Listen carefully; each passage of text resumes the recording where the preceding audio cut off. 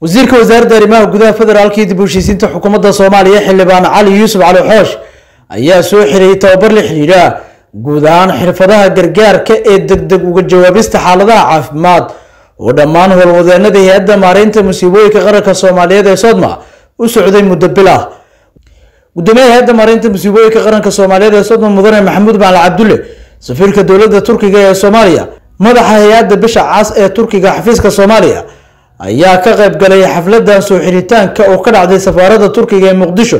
Wasiirka wasaaradda arrimaha gudaha xukuumadda federaalk soomaaliya cali xoosh gudoomiyaha hay'adda sodma mudane maxamuud macali cabdulle ayaa kaalintooda uga mahad celiyay dowladda turkiga hay'adda kaziyaali jaamacadda cilmiga caafimaadka ee turkiga iyo isbitaalka urdugan iyagoo kula dardaarmay shaqaalaha inay aqoontooda si hufan bulshada soomaaliyeed ugu adeegaan. Waxaan u halmalyeynayaa dadkii itixaamka ka soo gudbay maanta oo shahaadooyinka qaadanaya.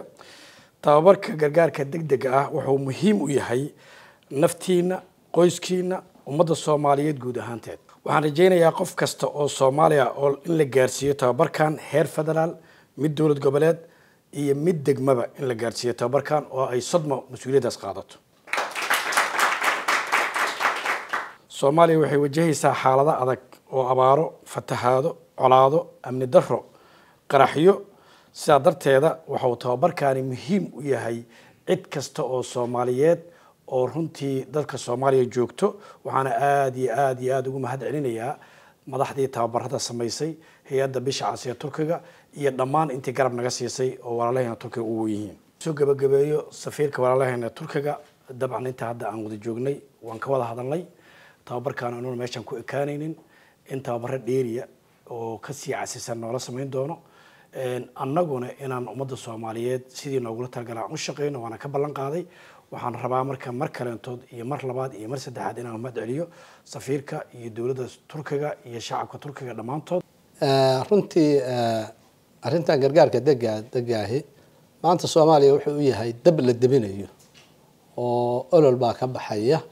Marka inta aan la gaarinba meesha qofka lagu daaweynayay gurmadkii deg dega ahaa oo dhinac kasta leh ama mid nafahayso ama mid la duubayo ama mid haddii ilaahay dhankeeda leeyahay lala ordayo waxa weeye waa kaalmooyinka soomaaliya maanta u baahan tahay kuwa ugu muhiimsan. Marka jaamacadda iyo safaaradda iyo dowladda turkiga wanaagooda tirada badnaa oo markasta ay nala dul taagnaayeen wey qeyb ka mid a waxaan warkayga kaga baxayaa markasta waa idin baahannahay waana idinkaga mahad celinaynaa soomaaliduna waxay tiraahdaa nasab waa abaalguda marka waa abaalgudi doonaa. Aada iyo aad baa mahadsantii idinkana shaqaalo oo dharkiina dhalinyarada oo wax la barayo abaalkaa celiya dadkii wax tara shaqeeya kuwo kala wax sii bara waalidkiin xataa bara caruurtiina bara inta idinla deriskaa bara waa farsamo isla markiiba dadka la bari karo dadkana ugu adeega aad iyo aad baa umahadsantihin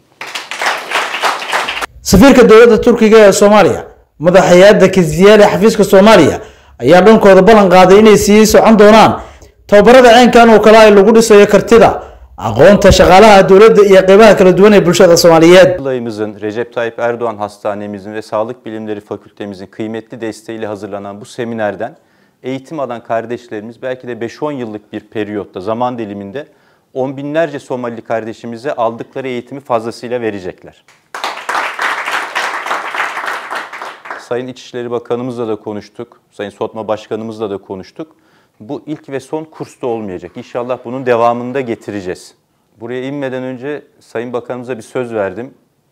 Diplomatın hastalığına tutulmayacağım, çok kısa konuşacağım diye. O yüzden sözümü tutacağım, burada bırakacağım. ujeedka tababarkan ayaa ahaa in dhammaan howlwadeenada hay'addu awood u yeeshaan ka shaqeynta howlaha gargaarka degdega ah xilliyada musiibooyinka dabiiciga ay dhacaan iyo kuwa aan dabiiciga ahaynba. Islamarkaasina ay waqti kasta aqoon ahaan diyaar u ahaadaan jawaabaha caafimaad ee lama huraanka ah. Cabdiqaadir